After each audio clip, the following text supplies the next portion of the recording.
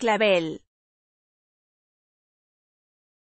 Planta de tallos delgados y nudosos, hojas largas y estrechas y flores olorosas y terminales.